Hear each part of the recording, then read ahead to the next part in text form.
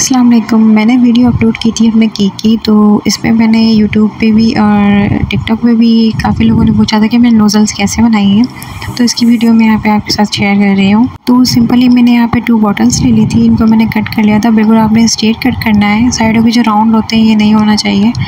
तो इसको मैंने बिल्कुल प्रॉपर स्ट्रेट कट कर लिए थे दोनों साइड से। तो आपने देख लेना है कि मैंने किस तरीके से इसको कट किया है। एक थोड़े से ना लंबाई में था और एक तरह से ना छोटा था। बाकी आपने इसको बीच में से कट कर लेना है। दो अंदाज़ा आपको होना चाहिए कि आपकी नोज़ल बनेगी या नहीं बनेगी। बस आपने करना ही है कि आपने टेप ही वाली यूज़ करनी है ब्लैक या फिर आप ट्रांसपेरेंट भी यूज़ कर सकते हैं, लेकिन ट्रांसपेरेंट जो है ना वो सही से इस पर टेप चिपकेगी नहीं। और जो ये हार्ड होता है थोड़ा सा तो इस पर आपके लिए टेप बिल्कुल आपको सही चाहिए जो इस पर चिपक जाए। तो यहाँ पर मैंने पहले तो उनको अच्छे से टेपिंग कर लिया था ताकि ये खुले नहीं। उसके बाद मैंने इसकी कटिंग करनी थी। तो आप देख लें किस तरीके से मैंने इनको आ, किया है और इसकी कटिंग भी मैंने आपको बताई। बहुत इजी है आपने मार्क करना है इस पर मुझे जो है ना दो नोज़ल इसकी अच्छी लगी थी। एक जो है एक नोज़ल जो मैंने केक पर यूज़ करी और एक मैंने आपको दिखाई भी है लास्ट में इसके कि वो अच्छी बनी थी। बाकी मुझे ये वाली जो मैंने कट करी है आपके सामने इससे आपके ना बड़े नोज़ल्स आराम से बन जाएँगे।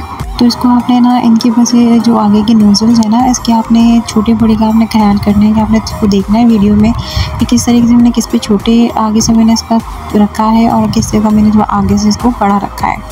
आपने अगर छोटे रोजेस बनाने तो इसके ऊपर मार्क जो है ना, ये बड़ी मुश्किल से हो रहा था तो आपको अंदाज़ा होना चाहिए, आपको फ्लावर की उसमें कट करना है इसको, कि जिग जैग कटे आपका इजीली तो बस मैंने जितना हो सका है मैंने इससे मैं मार्क किया और आपको अंदाज़ा होना चाहिए कि कटिंग कैसे करनी है। इस चीज़ का आपको खुद करके आपको कटिंग करनी पड़ेगी। तो ये है कि इसको एक तो ये आपने ना बिल्कुल ऐसा स्ट्रेट राउंड आपने कट करना है, बिल्कुल टेढ़ा आपने हाथ पे रखना है तो आपको पता लग जाएगा कि सही से मैंने इसको कट किया है। तो इसे आपका जो है ना फ्लावर्स आप बना सकते हो, आप है ना ऐसे जिग टाइप आप उसको बना सकते हो। तो ये बहुत अच्छी मेरी बन गई थी और मैंने सिंपली शॉपर्स ले ली थी यहाँ पर और मैंने पाइपिंग बैग का यूज़ नहीं किया था वो मैं यूज़ नहीं करती। तो मैंने इस पर आपको बताया किस तरीके से आपने इसको यूज़ करना है। ताकि आपको जो भी आपने नोज़ल यूज़ करनी है, उसमें आपने अपना क्रीम का बैग डाला और आपने ना उसे ईज़िली ऐसे आपने इसको यूज़ कर लिया।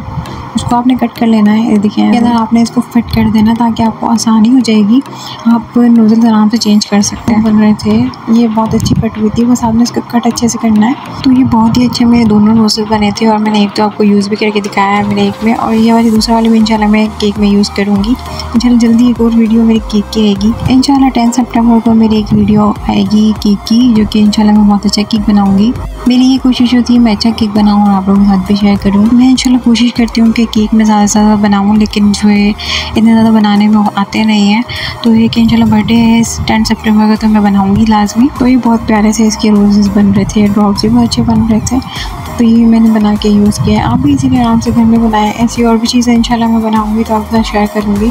ये जिग भी बहुत अच्छे मेरे बने इंशाल्लाह मैं अभी जो केक बनाऊँगी। तो उसमें इंशाल्लाह मैं इनको यूज़ करूँगी। वैसे आप भी ईजी घर में बना सकते हैं। तो अच्छा लगे तो लाइक करें सब्सक्राइब करें। थैंक यू फॉर वॉचिंग अल्लाह हाफिज़।